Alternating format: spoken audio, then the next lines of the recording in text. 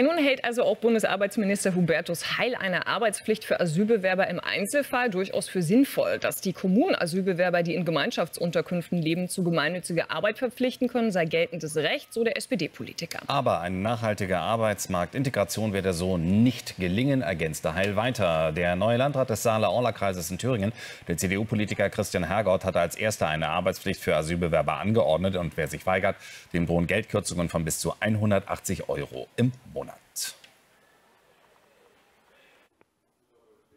Dorothea Schopelius, noch für uns im Deutschen Bundestag. Dorothea, du wirst im Laufe des Tages wechseln zur Ostministerpräsidentenkonferenz, die heute stattfindet. Erstmal einen schönen guten Morgen. Wir haben ja diese drei Landtagswahlen, die da also anstehen. In allen Umfragen führt die AfD. Und insofern haben wir jetzt auch wieder diese Debatte rund um die Arbeitspflicht für Flüchtlinge, die ja vermutlich zumindest auch für die Wähler ein entscheidendes Thema ist. Ist es das auch für die Ministerpräsidenten?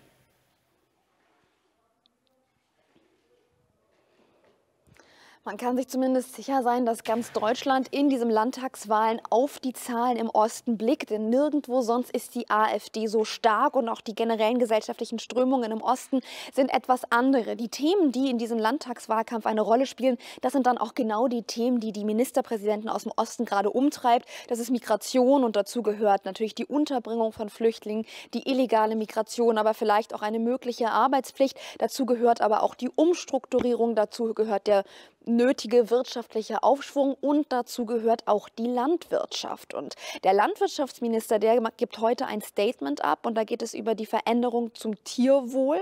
Und viele der östlichen Ministerpräsidenten haben sich sehr stark zu den Bauernprotesten geäußert, zur Landwirtschaft und auf der Tagesordnung steht auf jeden Fall groß auch das Thema Landwirtschaft. Das wird besprochen werden. Hier geht es um verschiedene Aspekte wie die Anbindehaltung, die ja von Cem Özdemir verboten werden sollen, wo die Bauern auf die Barrikaden gehen, weil sie sagen, dass sie nicht mehr wettbewerbsfähig sind mit den anderen europäischen Ländern. Hier geht es natürlich auch wieder um den berüchtigten Agrardiesel. Hier geht es aber auch um die Fleischsteuer, die eingeführt werden soll. Also ähnlich wie das, was es schon beim Kaffee gibt, soll ja von Cem Özdemir jetzt auch beim Fleisch eingeführt werden. Er nennt das Tierwohlcent, andere nennen es Fleischsteuer, egal wie man es nennt. Fakt ist, Fleisch wird teurer. Das alles sind auch Themen, die im Osten eine große Rolle spielen, die bei den Ministerpräsidenten eine große Rolle spielen. Und später im Monat bzw. im nächsten Monat gibt es ja dann sogar auch noch mal ein MPK-Ost-Treffen mit dem Bundeskanzler, wo es dann noch mal expliziter um die Migrationsfrage gehen wird. Also die beherrschenden Themen im Wahlkampf, das sind die beherrschenden Themen der Ministerpräsidenten. Und da bin ich mir sehr sicher, dass das Wort AfD und Umgang mit der AfD und sich Wähler zurückholen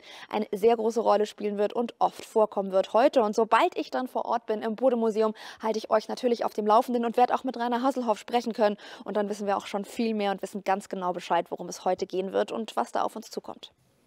Danke, Dorothea, für den Moment.